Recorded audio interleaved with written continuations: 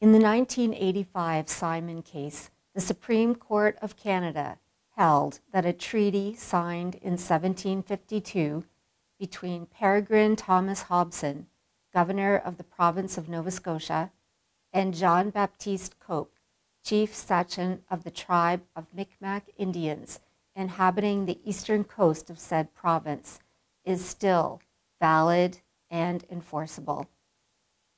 The court unanimously judged that the Treaty of 1752 had created mutually binding obligations that included, among other things, the recognition of Mi'kmaq hunting rights.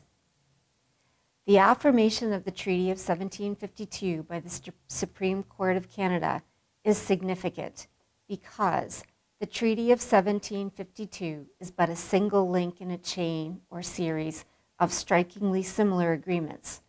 Such agreements were first made between Britain and in the indigenous nations of New England during the 1600s. These were called the Covenant Chain.